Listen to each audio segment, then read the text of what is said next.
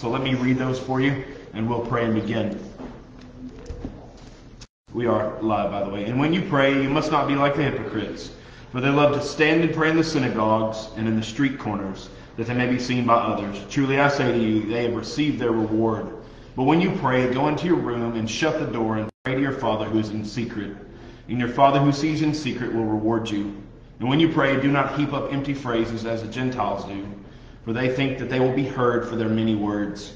Do not be like them, for your Father knows what you need before you ask Him. And then verse 9, which we'll get to next week, starts pray then like this Our Father in heaven. Right? So, uh, let's, let's pray, and then we'll dig right into it.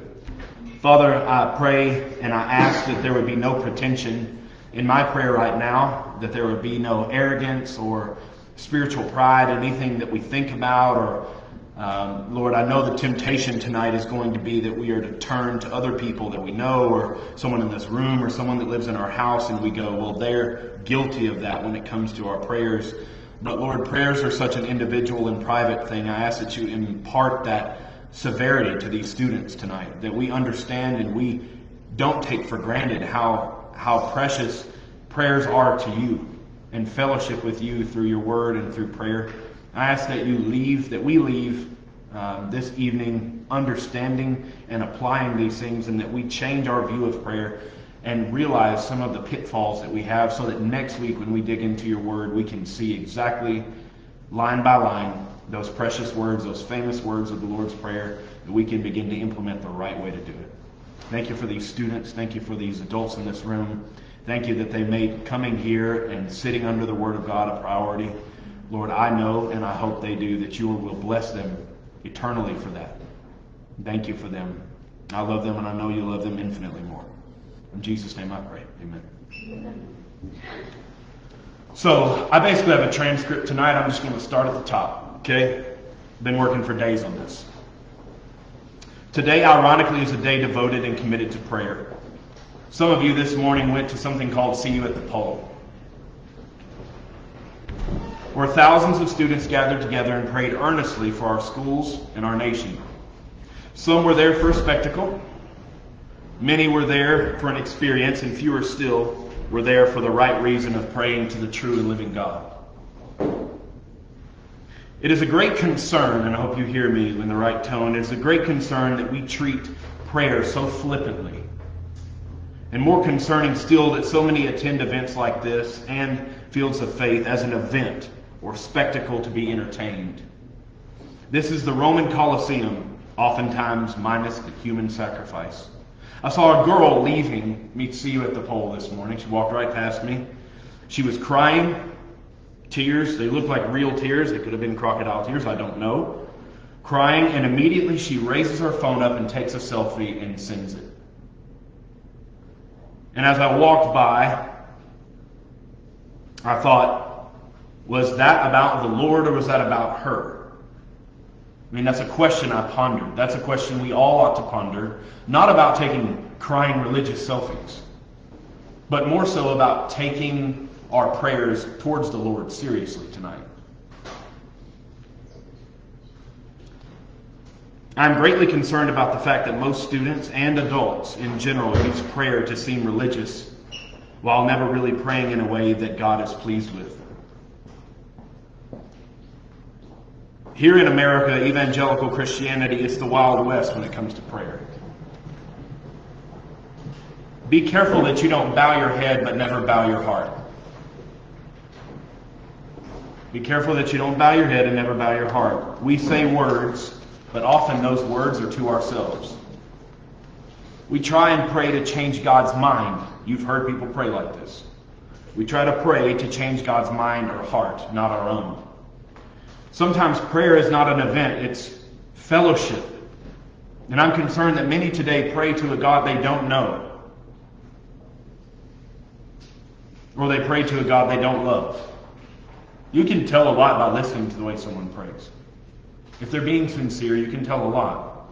And we don't know their heart. I'm not saying it's necessarily a window to their heart, but we do know a lot just from listening to them I'm concerned that many of us don't pray because we avoid God and we think He wants to avoid us too.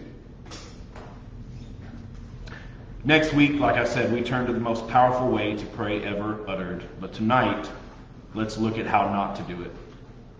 I wrote 10 myths about prayer. 10. Number one, we believe that prayer is about us. It's not. It's not about you.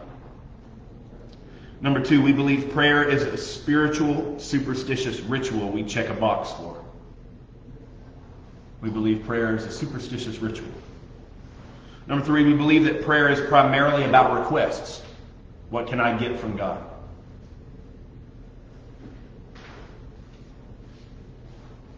We believe that prayer is about getting, not giving.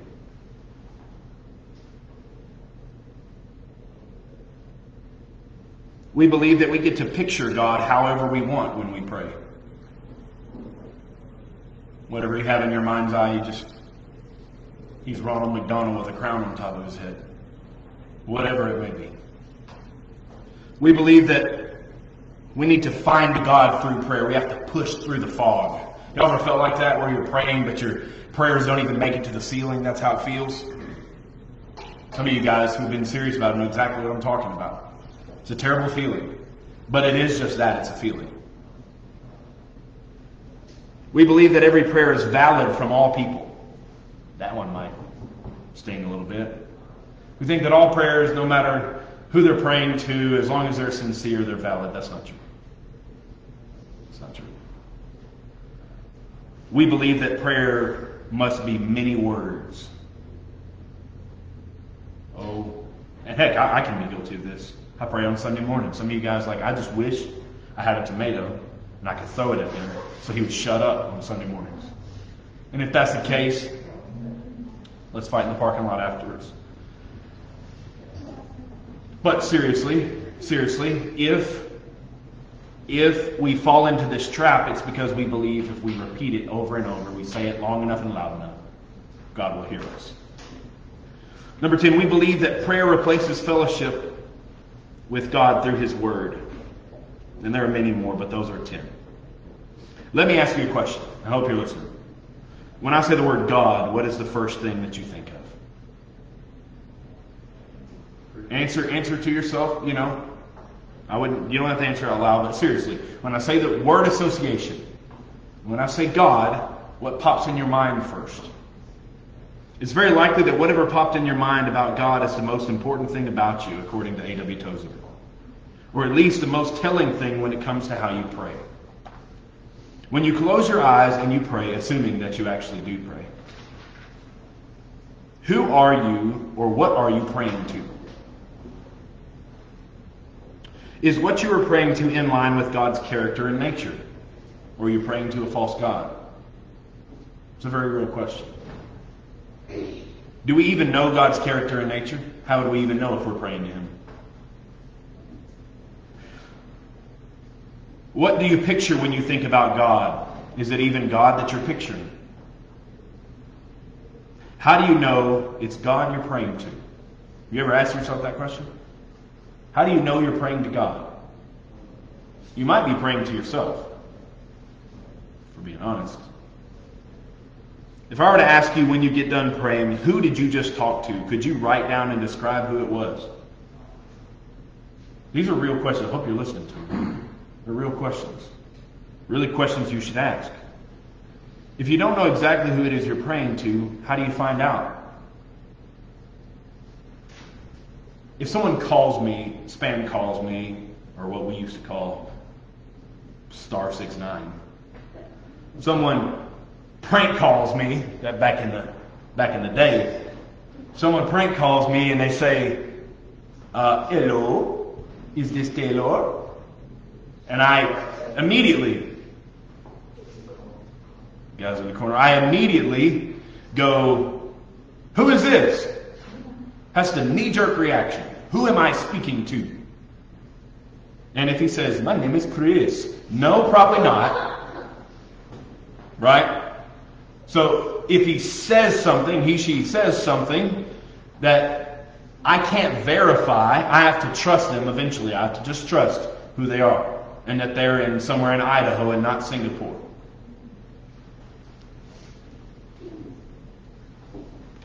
Do you think many of us think it's cathartic or therapeutic to talk out loud and that's what we call prayer? That's just thinking out loud. Thinking out loud is not prayer. Just want to clear the air on that. You talking to yourself is not coming before the King of the universe. Do you think that some people believe that they are manifesting what they believe by saying it out loud? New Age. The answer is yes to all these questions, guess you don't know. Is it possible that some people use prayer to brainstorm with themselves out loud solutions to problems that they don't yet have solved? Is that possible? It absolutely is possible. It absolutely does happen. Do you think that people ever pray because they think they need to, as if they're checking a spiritual box? You think being specific with who you pray to is important? Do you? What if you're praying to, the person you're praying to is not God, but some demonic source instead? Happens. I assume that you talk to your best friends and your close family members believing that they are known by you and that what you know of them is true. If what we say, now listen to these carefully, guys. If what if we say that God is our friend, what's it like being his friend? Can you tell me? I can tell you what it's like being Keaton's friend. I'm not her friend, she's my friend. She doesn't like me, but but trying to be friends with a porcupine, I know she's laughing, she's not refuting. I know, Dalen's like, that's you too, bro. I, I know that what it's like to be her friend. I know what it's like to call Dalen my friend. We have a relationship. We're friends. And I know what it's like to be friends with him. It's not the same as being friends with her, but I know what it's like. I can describe it to you. We call God our friend, but can you even tell me what friendship with him is like? I mean, I assume you talk to your friends, correct? How often do we talk to God? Does someone have to force us to in a setting like this? Because, I mean, I would think nobody would have to make you talk to him if he's your friend.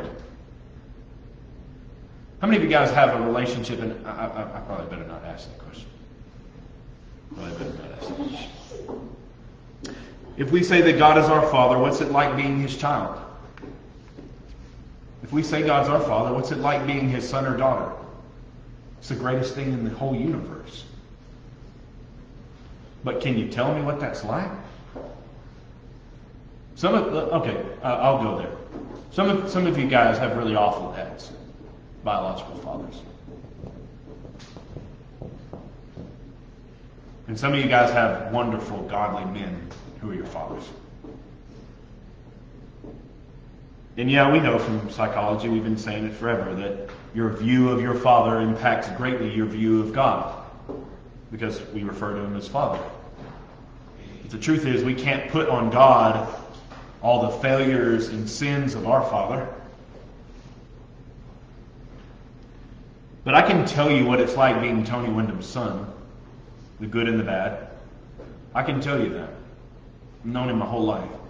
Dalen, you could go on and on and on about T- being Tim O'Neill's son. You could tell me all about it. I know you could. Here's the thing, though. Listen to me. Here's the thing. Can you actually describe to me what it's like to be an adopted child of God?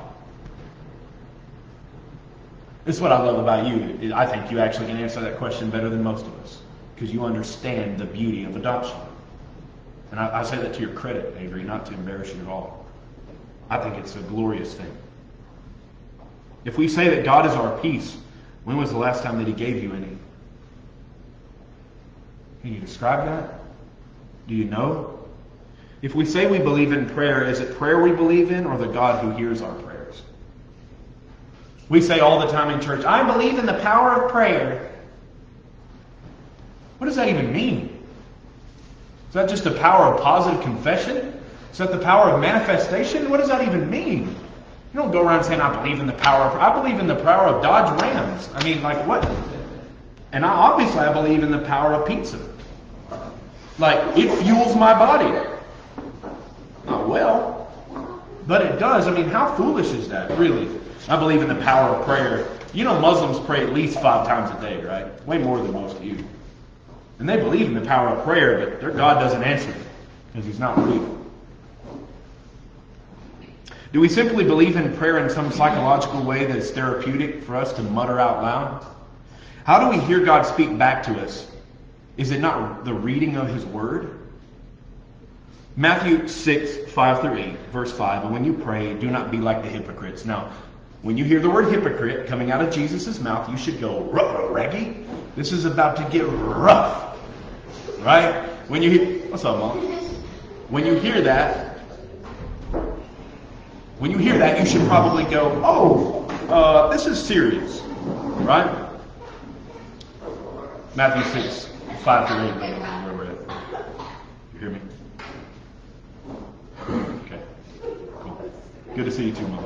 So, verse 5.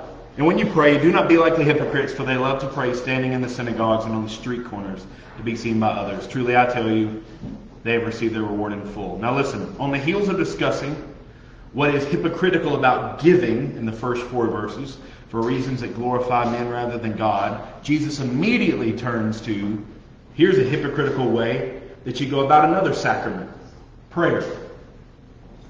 Notice he starts on verse 5 with the word and, because the hypocritical nature of his warnings coming in the next few verses is directly connected to the type of people who are described in verses 1 through 4. They do the same thing. If you're hypocritical in your prayer, you're often hypocritical in your giving. If you're hypocritical in your giving, you're often hypocritical in your prayer. Okay? Hypocrites are people who do what is good so people think they are good while hating righteousness and still loving sin talked about this last night. Hypocrites are also people who believe that they desire and deserve the glory that belongs only to God. Have you ever stopped and thought about how you look when it comes to your prayers? Seriously. Think about you. Don't think about someone else. Think about you. Are you weeping? Are you broken? Are you excited? Are you filled with passion? Are your hands lifted? Is your head tilted down? Is your head tilted up? Are you standing or are you sitting?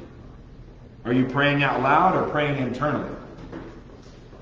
As with all hypocritical discussions and manners, the question that we should be asking is why are we doing what we are doing? God does not primarily care about what it is that we are doing, it's the motivation behind what we're doing that He's concerned with. The same people who give hypocritically are the same ones who pray hypocritically. One of the defining characteristics of people who believe that they can impress God and other people by things they do is that they are constantly seeking to do them in front of people, no matter what they're doing. The truth is, this is a battle that rages in our hearts nonstop. We must be constantly putting people pleasing, desire, and praise from men and women, and self exaltation and pride to death in our hearts and lives. If we're not going to be serious about this, Jesus' response is very simple. Jesus said they have received their reward in full. Now, meditating on that the past few days has been very terrifying. Because Jesus is saying the praise of men is all you'll ever get from God if you're hypocritical like this. I hope the claps and the back slaps are good enough because that's all you're going to get. That's it.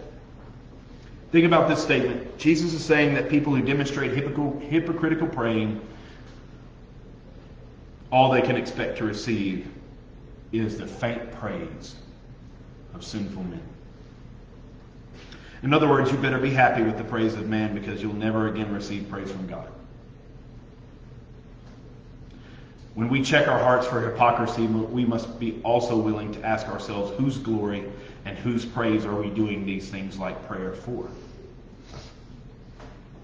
Some of you may be asking secretly, what does this have to do with me? I never pray anyway, so I'm not hypocritical. Examine your motives as well. Do you fail to pray because it's not about you? Or because you feel as though it serves no real benefit to your life? There are many different ways to be hypocritical in our prayers. Now listen to me, because some of y'all have tuned me out because you think whatever brand you do is never hypocritical. So listen. There are many different ways to be hypocritical. You can stand up so people can see you.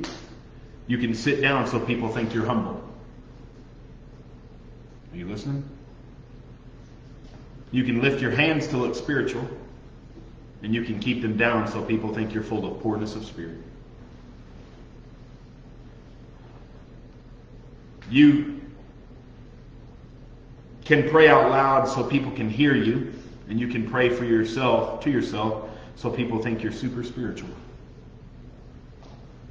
You can pray on a stage so that everybody looks at you.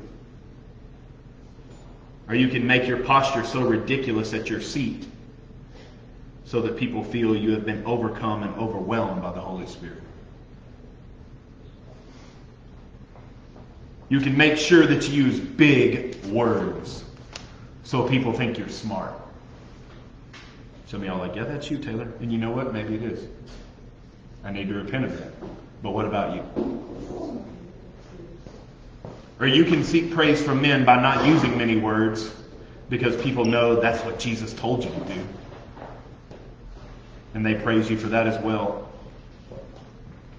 Humility comes when it comes to prayer. When it comes to prayer, humility has nothing to do with what other people think. It has everything to do with the fellowship with God and honoring Him as an audience of one. Have you ever noticed that the loudest people who talk about their spirituality and their faith are exactly the people who need the most attention and praise from man? Any toes in pain yet? Very often, the most outwardly spiritual and mature Christians who seek to demonstrate this reality are the ones who are the most shallow.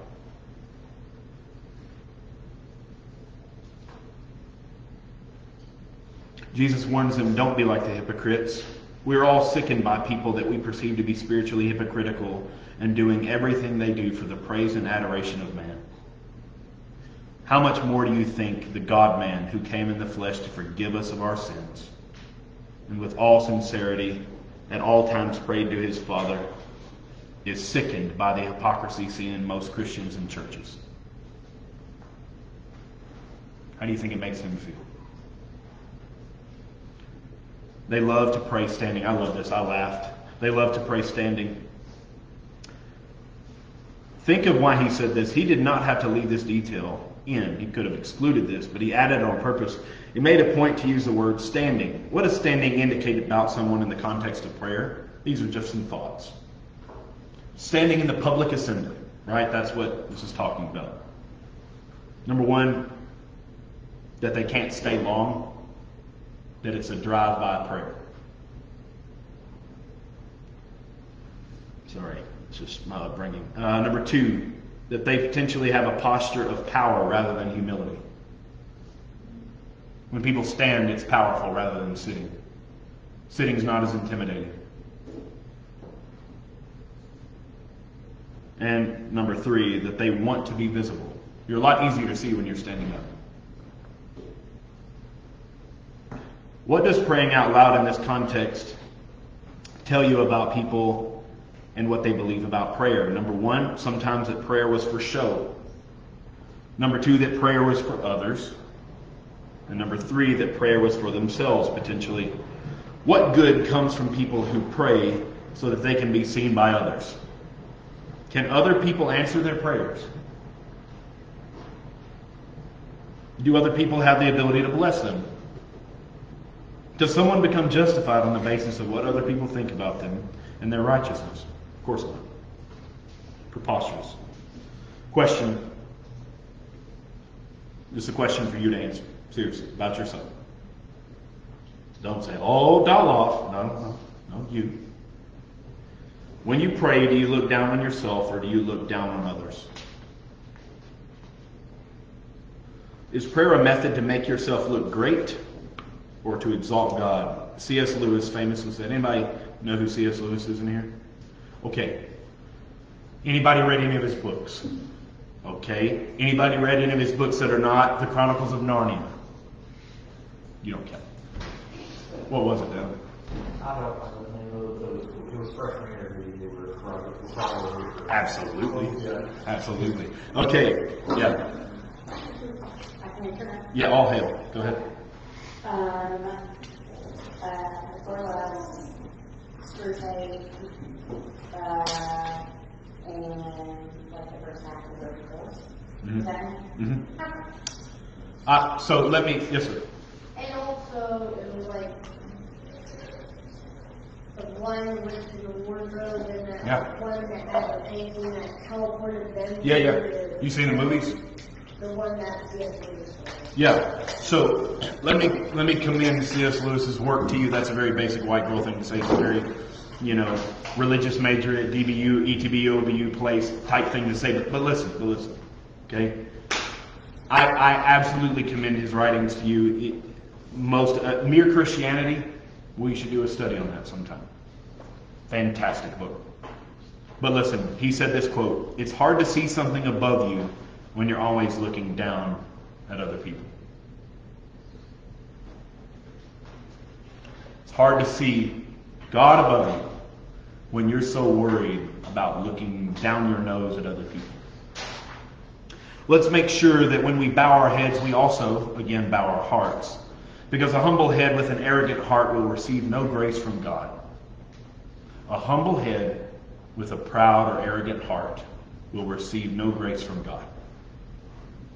Doesn't matter what you look like. It doesn't matter what you do. It doesn't matter what posture you take. What matters, just like everything else in Matthew 5, is the heart. Verse 6. But when you pray, go into your room, close the door, and pray to your Father. This, this verse is tender, and it took me a long time to see it. But it's a sweet verse. Who is unseen. Then your Father, who sees what is done in secret, will reward you. The Bible does not forbid praying out loud or in public. I want to be clear about that. Those are and were a big part of God's people, and they're a big part of what we do now.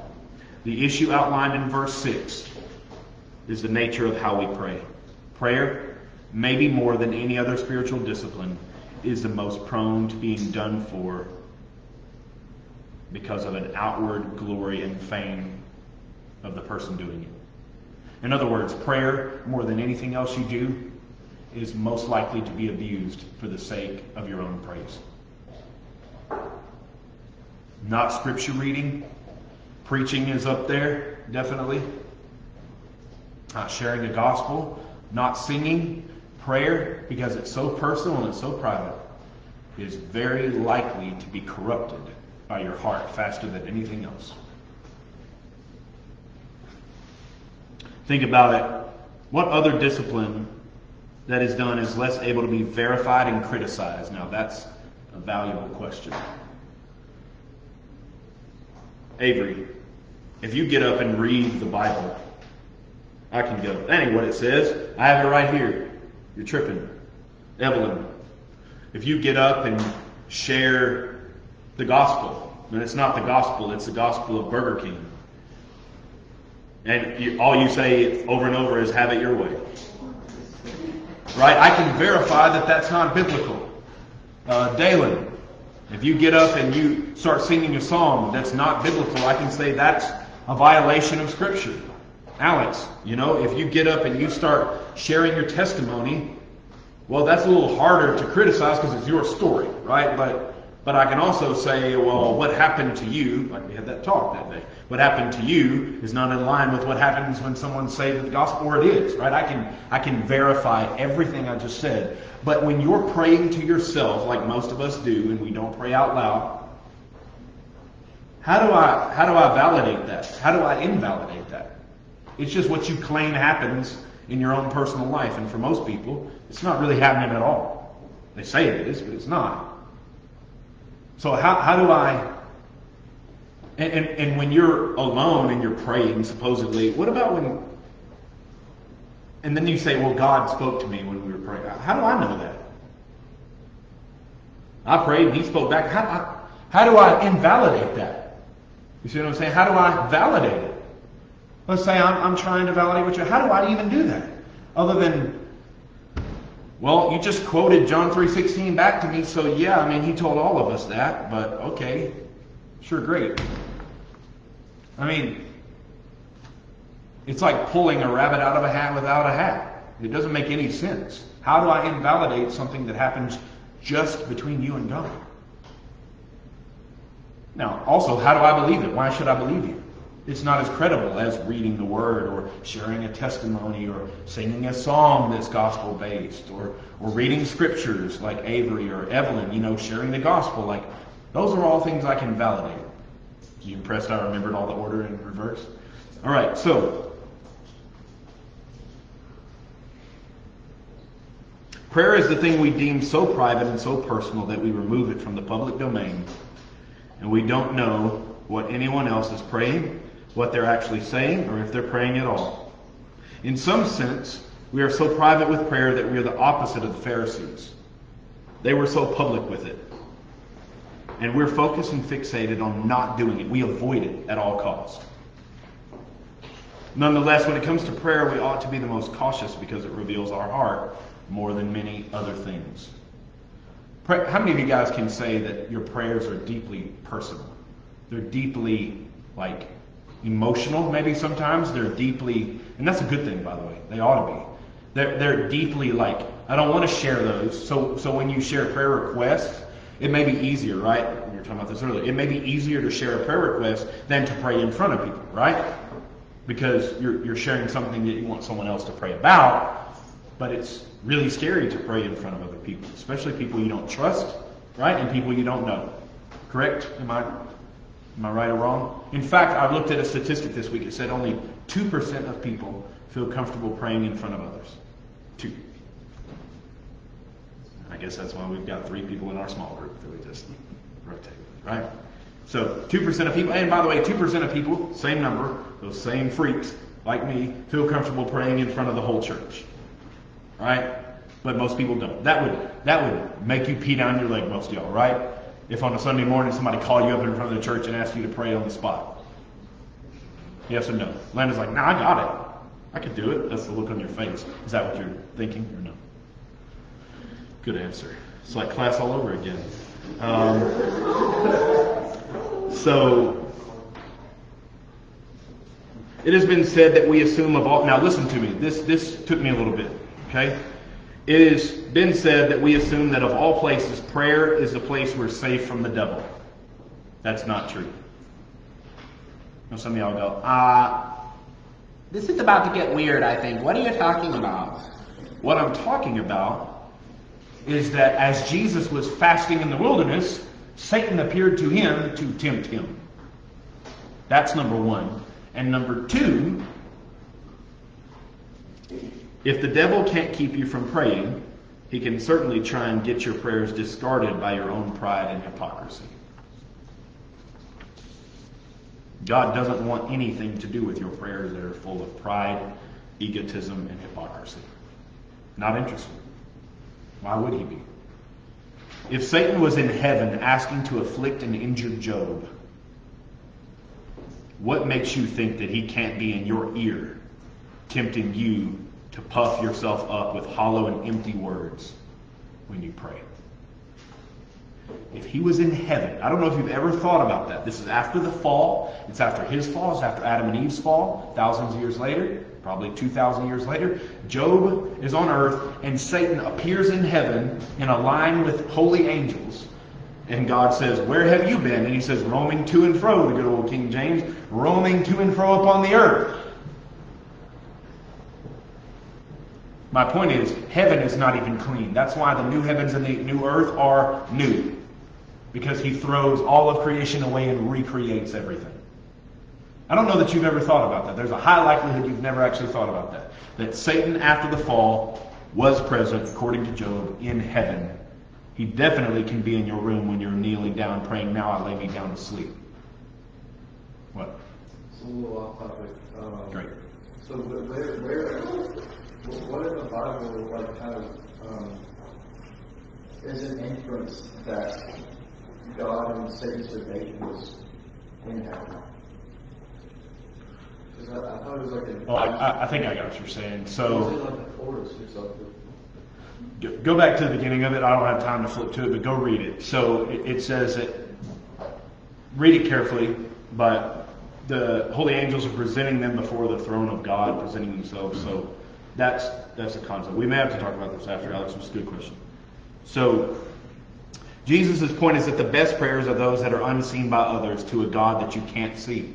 You ever, have you ever, you ever seen God? Anybody in here ever seen Him with your own two eyes? No? I mean, Old Testament, no one can see my face and live, correct? So no one's seen God. Now, now, the guys in the New Testament, wandering the streets of Israel and Jerusalem, they walked with God in the flesh every day. Right? Veiled by human flesh, but still truly God, truly God, truly man. Vera homo vera. Truly man, truly God. Right?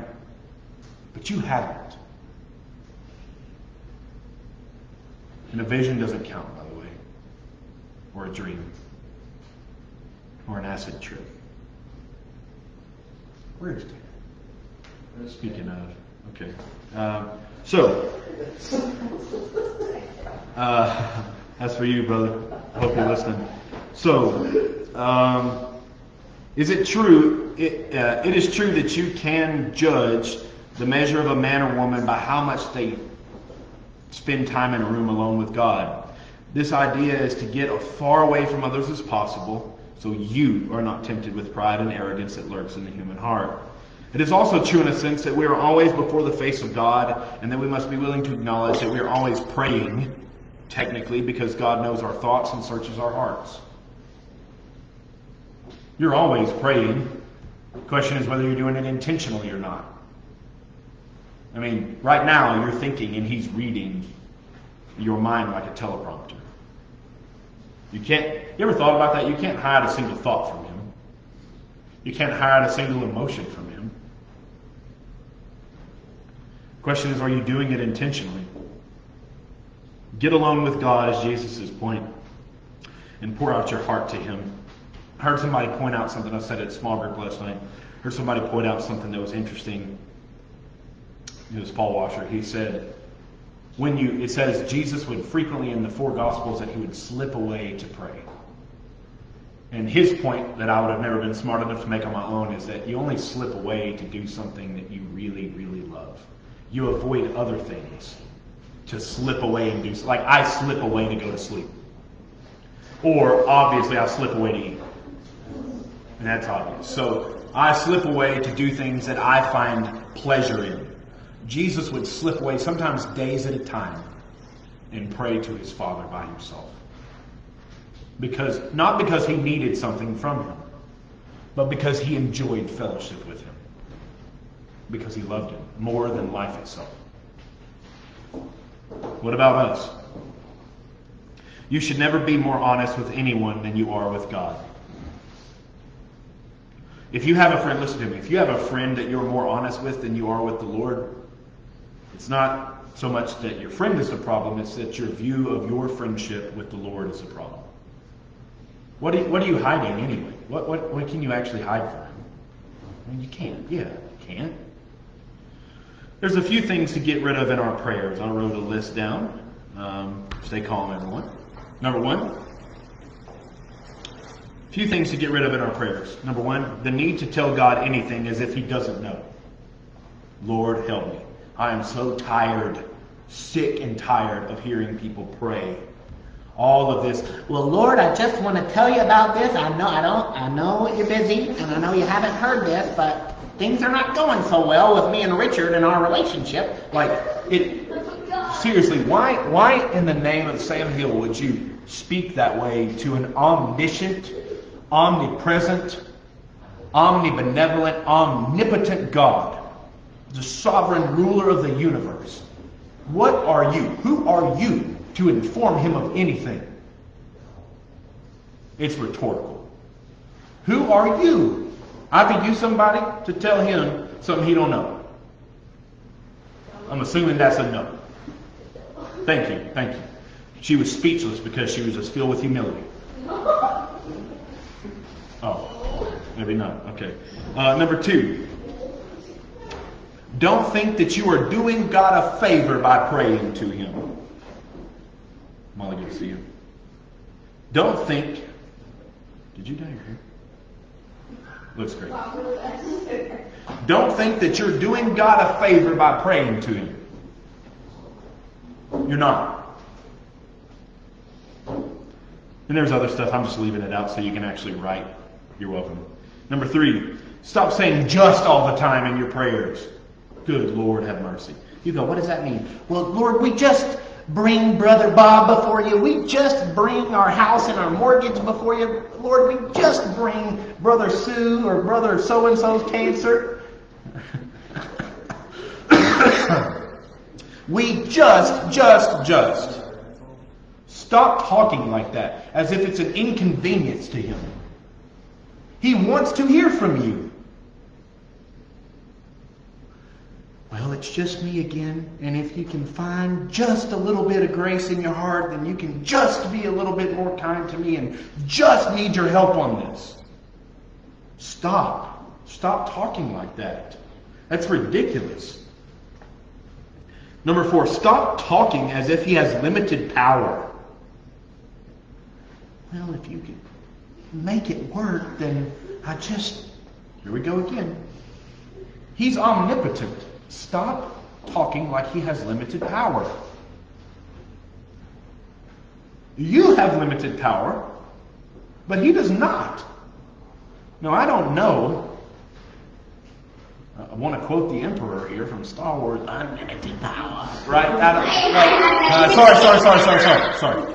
Here, here's my thing. Okay? Here's, here's what I want to make sure you hear.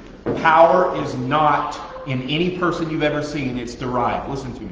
All the strength that's in your body right now, it's derived from Him.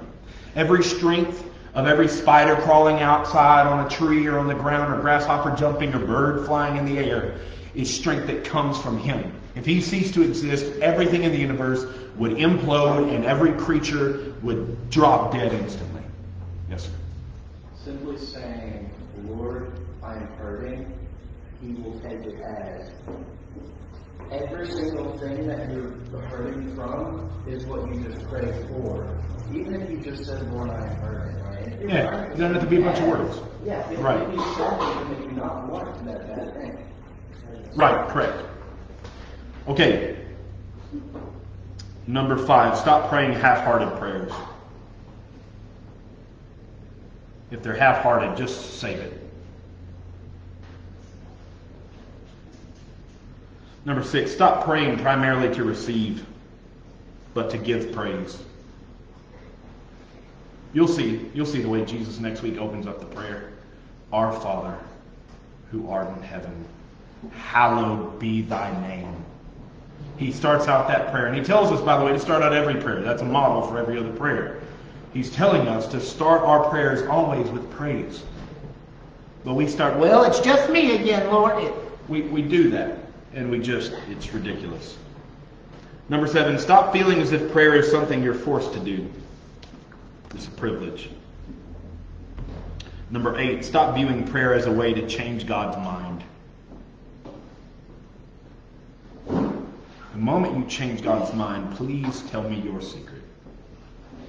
Because if you change God's mind, it must necessitate that you know better than Him. And we are apparently, you've been trying to tell people your whole life how great you are, and we've just not listened. But if you can change God's mind, then we ought to erect an altar to you too and worship you. Because you know better than Him. Blasphemy. Number nine, don't let your mind wander. Don't let your mind wander. Don't get distracted. If you're not focused on what you're saying, just say amen and move on. Don't sit there and babble. Number 10, don't say what your heart feels or what you want it to feel. Words are just a way to communicate your heart. I think what I meant was do say what your heart feels or what you want it to feel. So you can cross out the NT from don't. Make it do. A big God means that no prayer goes unanswered. Now listen to this. The big question is, is my will in line with his will? He and we, rather, we must be willing to admit that God will work all things according to his good pleasure, according to Ephesians 1.11. Evelyn, Ephesians 1.11. Is it comforting to know that God sees all, knows all, and will answer all of your prayers perfectly in accordance with His will, either through providence or through miracles? Pretty amazing. No prayer goes unanswered. Verse 7 When you pray, do not keep on babbling like pagans. I love this part. This is my jam. For they think it will be heard because of the many words. One of the biggest issues that all pagan religions involve themselves in is that they pray big and long prayers that are based on many words. Words do not impress God. Now, now I wrote this down. I thought it was rather clever. Words do not impress God. Have you ever considered that he wrote a book and then stopped giving inerrant revelation? He hasn't written anything down in almost 2,000 years. Your words don't impress him. He wrote his book, his perfect book, and then he stopped writing. But your Shakespearean oratory is going to impress and knock the socks off of him. Ridiculous. God doesn't need your words. We pray silent prayers all the time, and that's good too. He doesn't need your words, and He doesn't need your repetition. One heartfelt word, one heartfelt word of adoration or desperation from a born again child of God is better than a million heartless words from some stranger outside the kingdom of God. The word babbling should be seen as a callback to the Tower of Babel, where God confused and mixed up our languages. When someone babbles, they talk utter nonsense. They speak in a way that is worthless and annoying. Think about this verse. When we speak nonsense because we repeat ourselves over and over, we do it for a few reasons. Number one, we think we look more spiritual by talking longer. Number two, we think God hears us if we say it more. Number three, y'all good over there? We think we can impress God if we talk a lot. Think of how Muslims have an organized prayer schedule. At least five times a day they pray. They're serious about their many words. Their God does not hear them because he is not real. And by the way, the Catholic rosary, rubbing on beads, praying these Hail Marys over and over and over and over again, worthless. Absolutely worthless. Pagans say so many words because they know none of them get through. Is that why you talk so much? Because you don't think they're getting through? How often do you pray without faith a prayer that you repeat with a half passionate plea because you think He doesn't hear you anyway? God hears all, sees all, knows all. There's no such thing as something getting past God. And you can come boldly before Him because of what Christ has accomplished, and now you are in Christ. Now, I'm, I'm I don't have time to read this because we're going to break out here in a second. But I encourage you to go read Isaiah 44. Write that in your notes. When you get home, this will be your homework. Isaiah 44. And the whole chapter is great, but verses 7 through 11 would be good. Verses 7 through 11 would be good.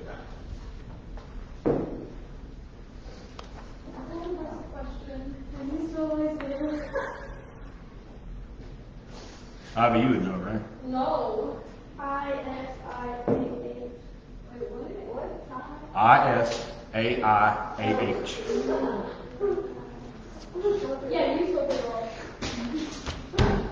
Okay, ready? Last two pages. He says, he makes fun of, this is the context of that passage, you go read it. God makes fun of idols. He makes fun of a guy, actually, who takes a log and cuts it into pieces and starts a fire and cooks his meat and then worships an idol crafted from that log. And the point is, every God except him doesn't exist. God mocks the idols and brings them to shame and humiliates them. How much more ought we to pray to a God that is not only real but also who listens? The God who listens is who you worship. If pagans can pray to a God they know isn't real and scream to the abyss, begging someone to answer who cannot answer, how much more sincere should we be? It would be a good idea to stop listening. Listen, it would be a good idea to stop praying, now I lay me down to sleep. I pray the Lord my soul to keep. And if I die before I wake, I pray the Lord my soul to take. It would also be a good idea to stop praying this prayer. God is great, God is good, let us thank him for our food. If our heart is not engaged, what makes you think our mind is either? Last verse. Don't be like them, for your Father knows that you need what you need before you ask Him. Jesus' correction ends right back where you would expect it to the sovereign goodness of God. Jesus says, Don't be forceful and repetitive because God knows what we need already. We are not forcing Him and we are not informing Him. There is a sense in which repetitive and forceful asking is repetitive iteration demonstrating a lack of faith. Keep asking and pleading with God, yes, but a heart filled with gratitude that is soaked in the goodness of God, so that when prayer rings out of your soul, it is thankfulness that drips from your heart. Have you ever thought or prayed that God would do something that you could convince Him of that He does not want to do?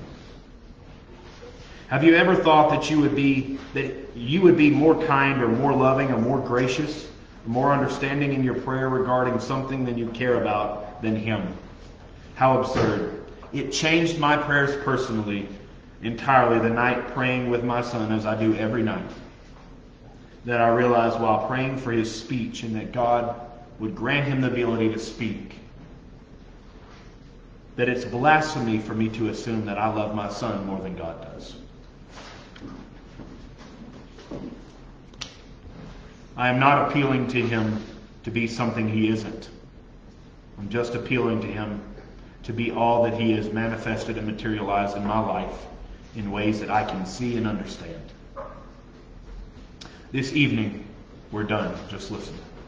This evening, what is it that you need to change about your prayer life?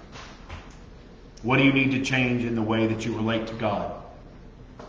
Before we go to small groups, take a second, just a minute or so, take a second to pray and please start with praise to God and ask Him to give you wisdom in regards to how you relate to Him. Ask Him to show you who He really is from His Word, and then that you would believe it. And turn the camera off.